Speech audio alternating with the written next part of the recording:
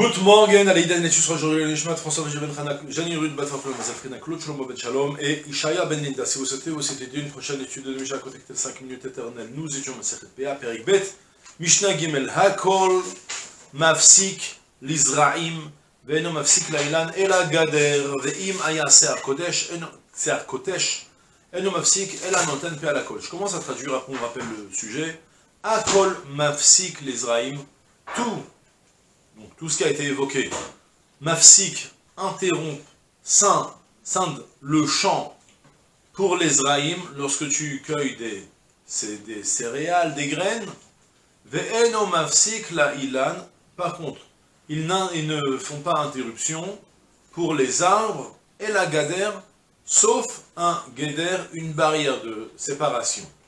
Soit, on avait appris que le devoir de laisser la PA. Lorsque tu cueilles ton champ, tu dois laisser au bout de ton champ une PA, un soixantième, un coin du champ que tu ne touches pas, tu le laisses pour les pauvres qui, viennent, qui vont venir le manger. Et on a évoqué dans le Mishnah l'effet bête tous sortes de situations quand on va considérer qu'il y a deux champs.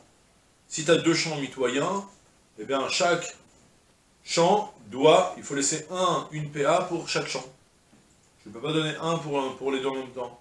Et du coup, on avait évoqué dans le Mishnah Aleph plein d'exemples de choses qui, vont scinder le champ en deux, à savoir s'il y a un ruisseau, une rivière, un, chemin du Reshut Arabim, toutes sortes de choses qui vont faire que le champ maintenant, ça c'est considéré comme deux champs, donc tu laisses un champ ici, une PA pour ce champ-là et une PA pour l'autre champ d'en face.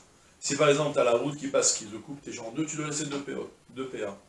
Et on avait évoqué c'est quoi exactement, la largeur et tout ça, comme si on avait tout dit dans la Mishnah Aleph. Notre Mishnah vient nous apprendre, que, vous vous rappelez que dans le Pérek on avait appris qu'il faut laisser la PA pour, on avait évoqué les, cinq conditions, les choses qui sont imposables de PA.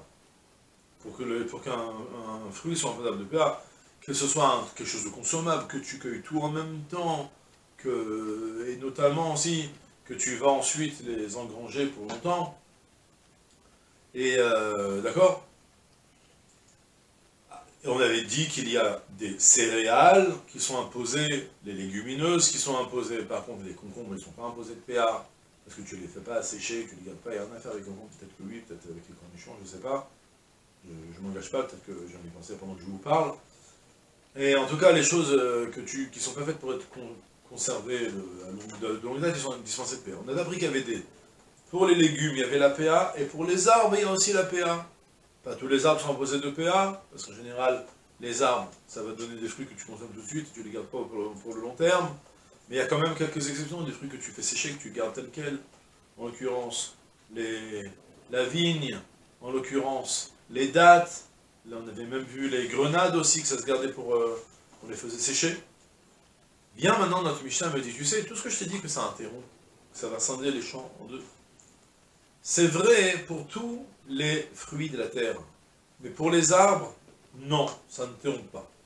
On va expliquer la raison pourquoi, mais d'abord, on, explique bien la la qu'est-ce que ça veut dire. Ça veut dire qu'en fait, si je te dis que si par exemple, tu as une grande étendue, où tu vas là-bas, tu sèmes du blé, et au milieu tu as donc as le petit canal qui t'amène de l'eau, qui va te couper le champ en deux, tu dois laisser deux PA. Une PA pour la droite, une PA pour la gauche, parce qu'on voit bien qu'il y a deux champs ici. D'accord Ce qu'on avait appris.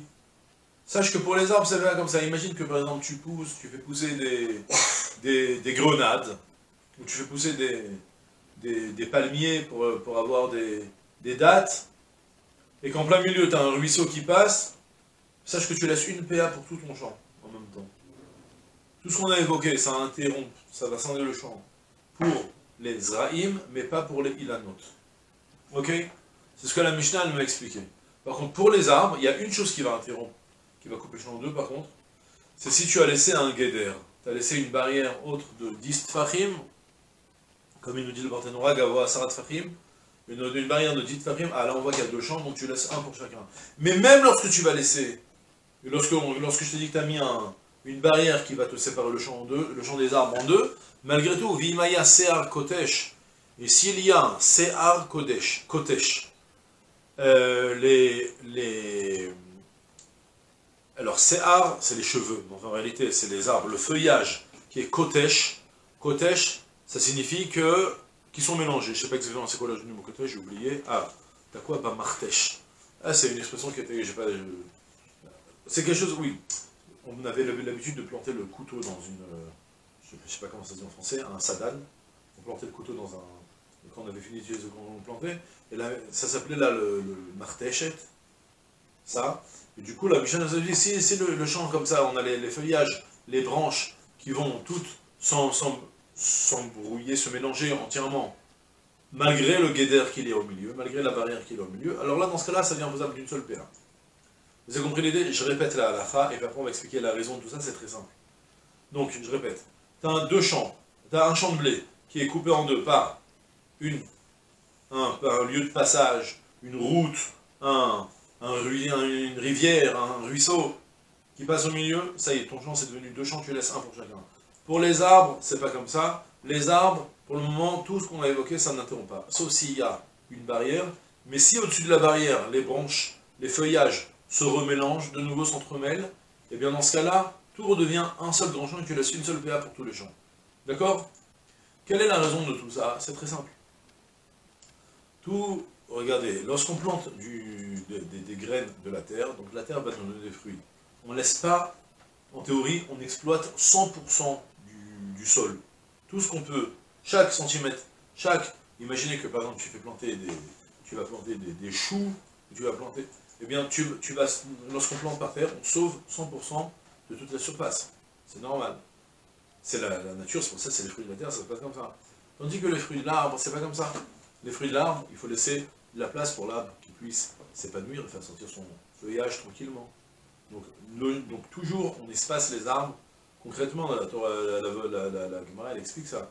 On laisse entre les arbres 16 amas, c'est-à-dire 8 mètres entre deux arbres.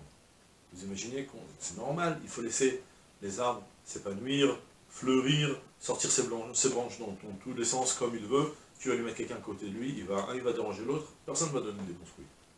D'accord? Selon ce principe, donc les arbres, on les espace naturellement.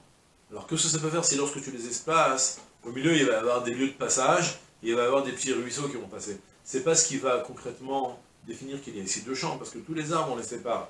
Et si déjà tu sépares les arbres, tu les éloignes, il n'y a pas de raison de te limiter, de ne pas, faire, exploiter tout le passage du milieu pour rouler, pour mettre un, vers un lieu de passage. C'est pas ce qui va faire, ce qui va définir qu'il a maintenant des champs distincts. Un champ qui est censé être tout bien condensé, lorsqu'il va y avoir un trou milieu, un trou pas logique, alors là, ça va, ça scinder le champ en deux.